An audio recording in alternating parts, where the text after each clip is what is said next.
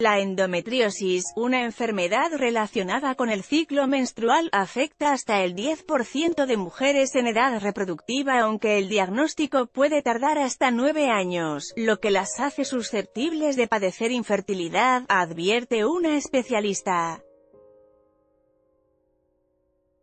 Patricia Ramos, médico del antiguo Hospital Civil de Guadalajara, explicó a EFE que la endometriosis es causada por una deficiencia genética en el sistema inmunológico de las mujeres que incide en el proceso de menstruación mes con mes.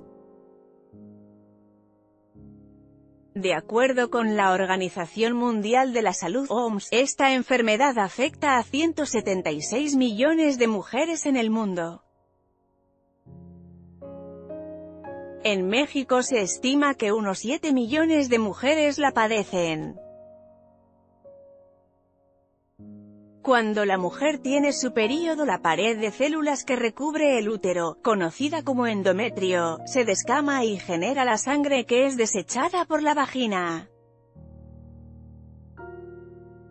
Ramos afirma que los macrófagos de las mujeres que presentan endometriosis tienen una deficiencia genética que les imposibilita desintegrar ese tejido, que cada mes se va concentrando y adhiriendo en diversas zonas del cuerpo.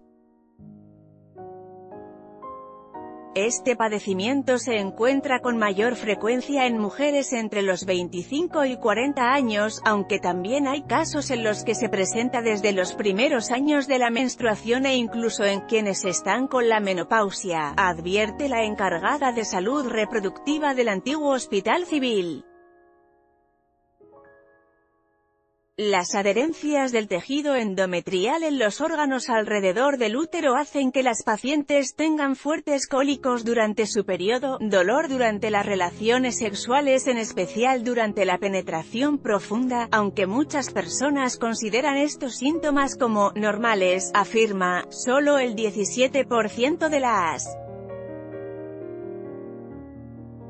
pacientes que tienen endometriosis presentan tejido en los ovarios que es el más fácil de identificar a través de un ultrasonido. Las demás no se someten a este proceso radiológico, por lo tanto el diagnóstico se retrasa hasta 7 o 9 años, dijo la especialista.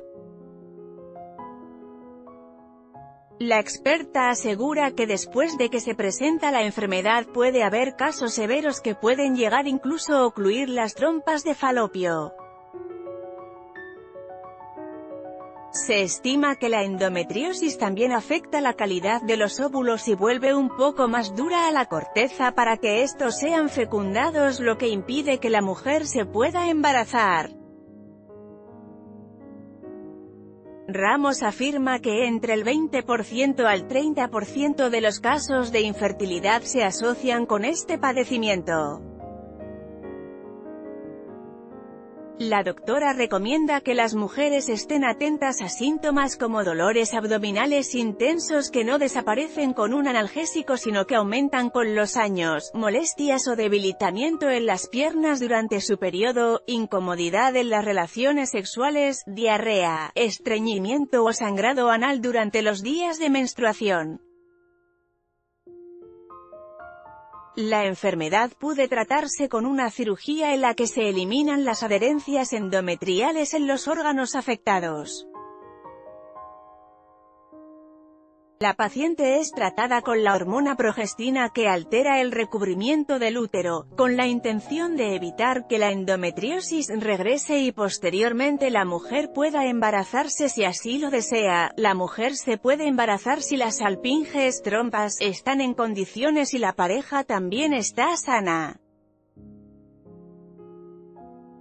Puede ser un embarazo espontáneo o se intentan alternativas como hacer ciclos de inseminaciones hasta una fertilización in vitro, pero tienen que ser con mucho control médico, concluye F en esta nota, infertilidad endometriosis.